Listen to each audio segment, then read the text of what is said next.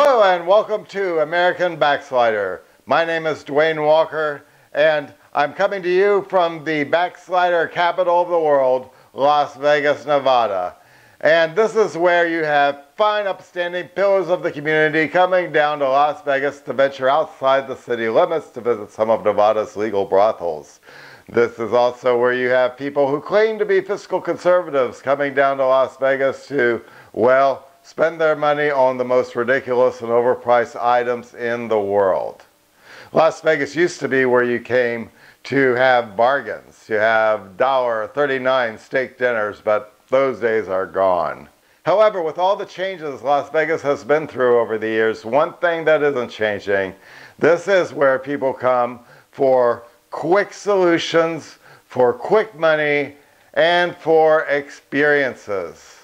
Some people play it safe, other people are rather reckless. And I will be presenting to you the American Backslider's Guide to Las Vegas in uh, the upcoming episodes, in which I will take you on tours of things that you probably wouldn't even be thinking about going to if you were coming to Las Vegas. And the first place I'm going to take you is to a, a museum that shows us what really motivates Las Vegas and ultimately what motivates the world. The Harry Mohney Erotic Heritage Museum contains everything from archaeological finds to ancient manuscripts and writings by people like the Marquis de Sade, uh, displays about certain notorious personalities like uh, Elizabeth Bathory, who was known for uh, bathing in blood because she thought it would keep her skin pure. Their painting, it does bring things up to speed to our current time as well, with various displays celebrating the many different lifestyles from uh, polyamory to LBGTQ.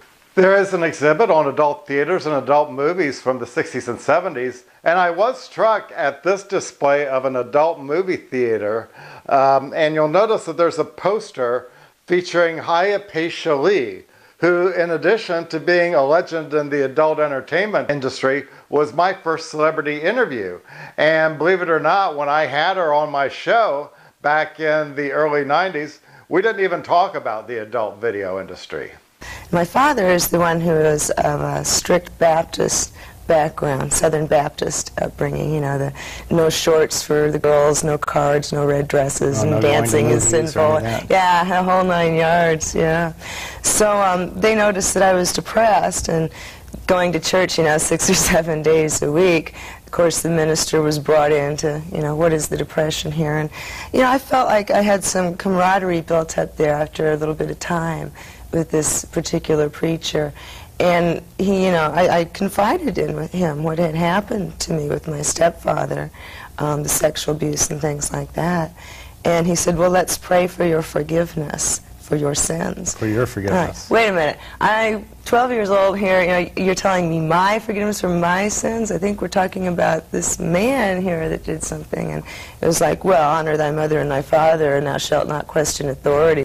And all of this does bear mentioning because there is a display at the museum dedicated to those who have been sexually abused and are trying to come to terms with positive views regarding their sexual identity without all the false shame that religious and uh, societal dogmas may inflict upon us. There's also another display dedicated to women who have sexually abused minors as well, and most of those have been teachers. When you enter the museum, one of the first displays you see is one called Sinners, which shows the scandals that a number of politicians and religious figures and others have fallen into. So I got a chance to speak with the director of the Erotic Museum, Victoria Hartmann, and asked her about that. Well, that was actually uh, Mr. Mohney's brainchild. Um, he's been dealing with the law and the Supreme Court and Congress and so forth his entire career.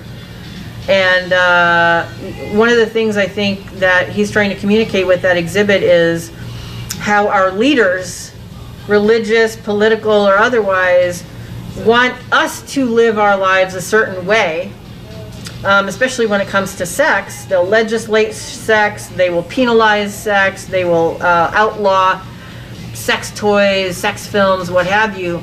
And yet, if you look into their lives, they're doing the same thing. They're watching pornography, they're having affairs. So, Mr. I think Mr. Mohney's intentions with that exhibit was to point out the hypocrisy of our leaders and how they legislate our bodies and yet don't uh, adhere to the same legislation and the same rules and the same divine laws as they tell us to live by.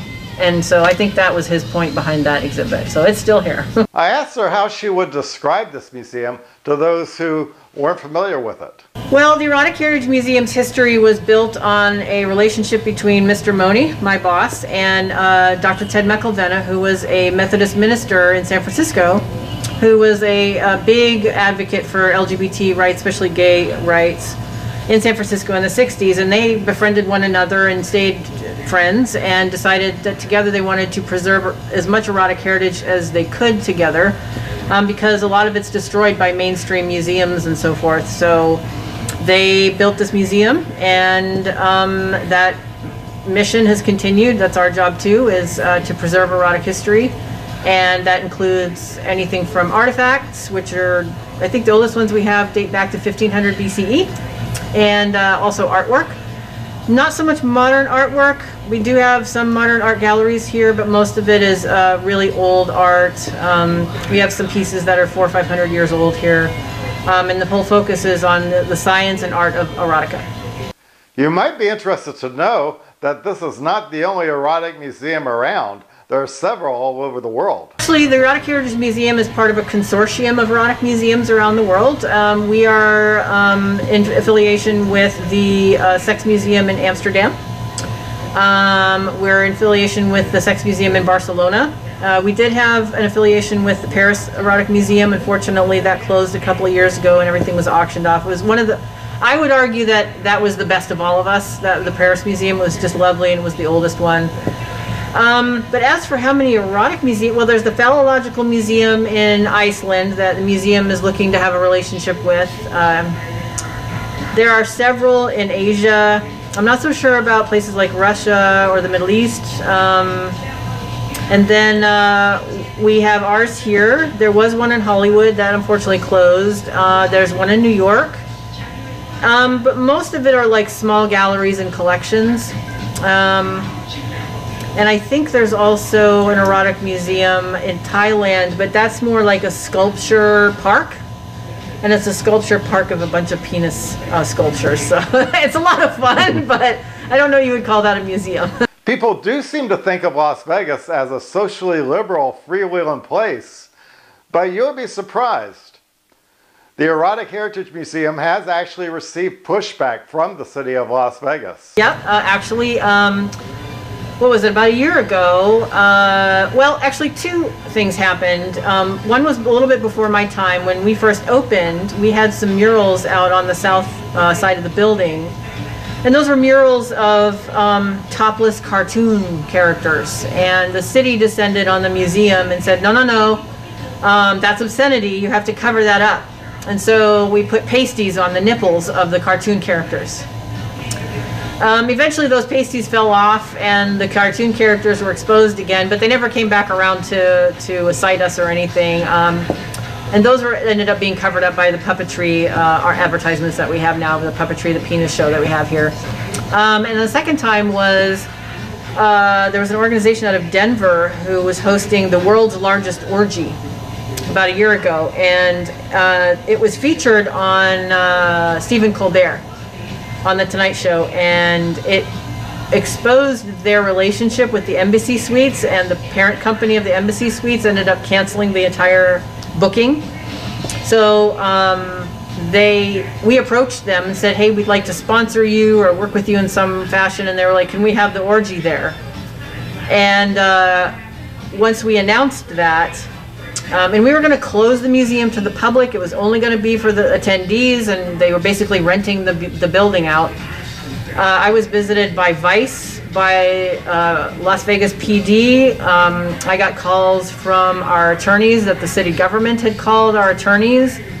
Um, and then I got another visit from Vice, and then we had to bring on our uh, one of our ACLU attorneys, the same gentleman that defended the Green Door uh, here in town and um, at the last minute, the uh, folks who were organizing it got a cease and desist and they moved it to the green door like an hour before the event. The point of the museum is to preserve these precious artifacts and, and art pieces and the science of it um, because there's willful intention to destroy this stuff by politicians, conservatives, um, you know, our, um, religious conservatives and so forth.